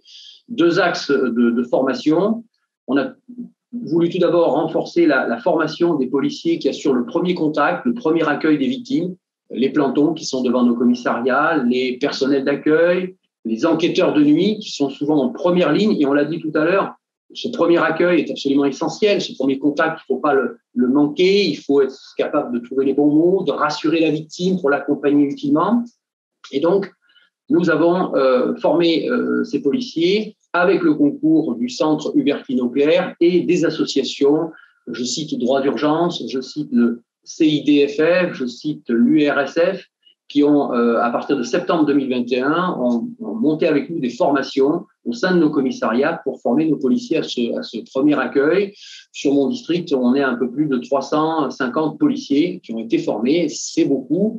Euh, donc, formation à partir de septembre 2021, nouvelle session euh, à partir du printemps 2022, et c'est vraiment quelque chose qu'on qu veut pérenniser avec ces associations pour continuer à former nos policiers de premier accueil parce qu'il y a aussi un turnover important dans nos commissariats.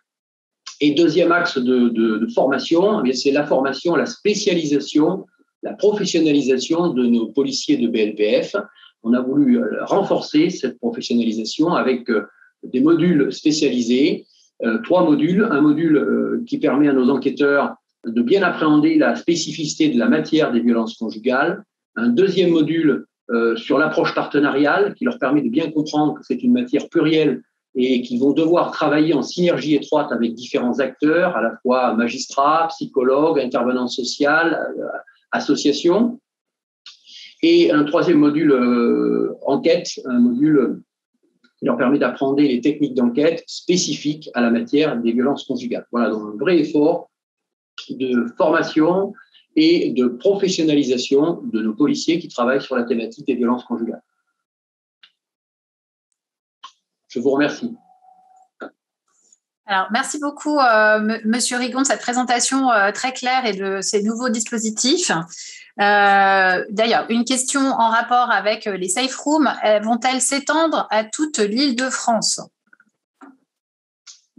Alors, c'est parti d'une initiative euh, locale qui, est en train de se développer. Et euh, alors, souvent sur ces sujets-là, c'est l'immobilier qui, qui un peu nous contraint. Pas tous les commissariats ont la possibilité d'avoir une salle dédiée, mais d'ores et déjà, on a déployé des, petits lits d'appoint dans les commissariats pour pouvoir organiser un espace. Et oui, oui, on va, on va euh, vers l'extension de ce dispositif parce qu'on voit qu'il y a un vrai besoin de mise à l'abri d'urgence en commissariat euh, la nuit. Merci beaucoup. Euh, une question assez pratique.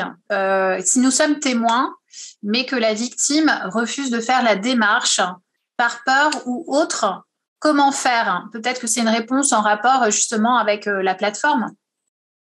Alors, témoin, euh, quand vous dites témoin, c'est-à-dire un habitant, un voisin qui entend du bruit, qui entend des cris, qui, qui, est, qui a conscience qu'il y a une situation de violence conjugale, ça arrive très régulièrement et je dois dire que c'est aussi une des bonnes nouvelles parce qu'on sent qu'il y a une mobilisation dans la, dans la société. Euh, Peut-être qu'avant, eh bien, on, on, fermait les oreilles, on se disait ça se passe chez le voisin, je ne veux pas m'en mêler. Aujourd'hui, le réflexe est de plus en plus pris ben, de faire le 17, tout simplement.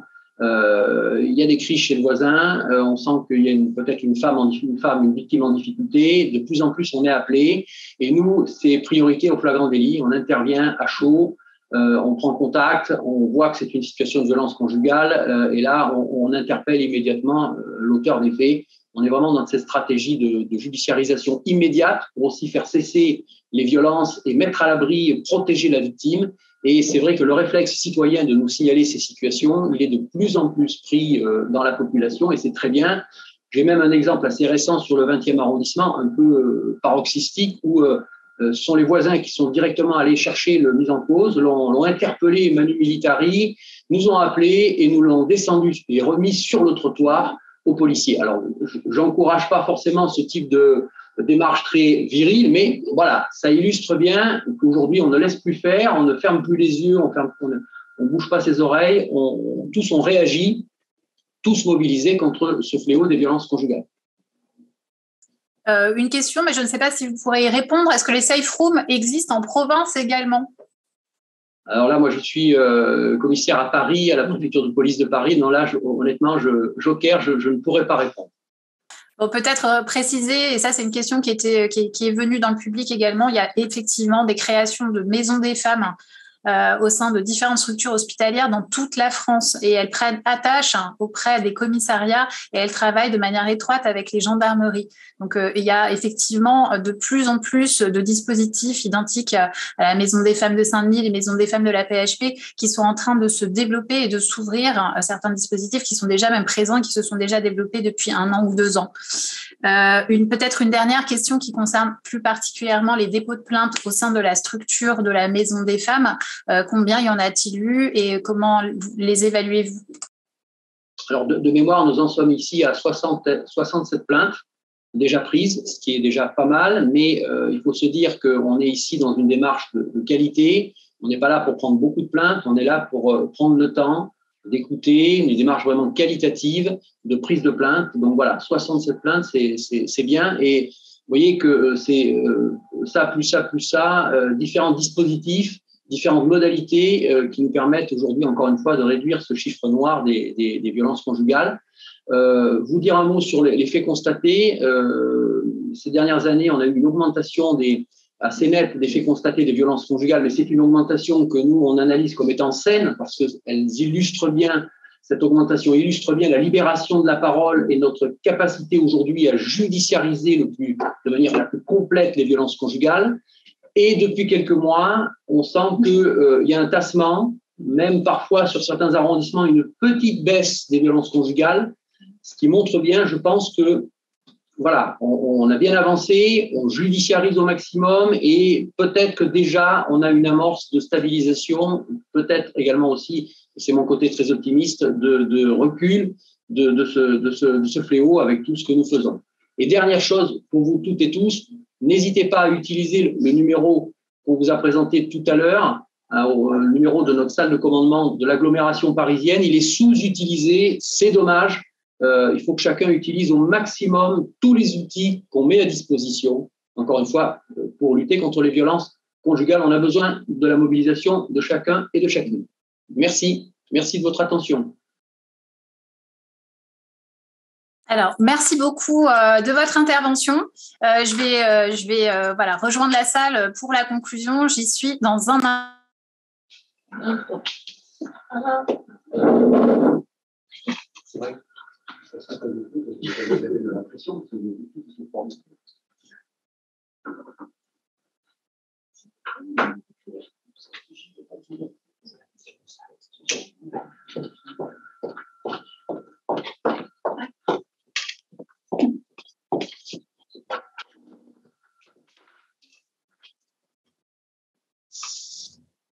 Alors, on va passer à une petite conclusion et je vais revenir juste sur quelques questions euh, qui ont été posées. Euh, une question qui a été posée justement sur un peu le circuit patiente, le certificat médical et euh, établir l'ITT, donc incapacité totale de, travail.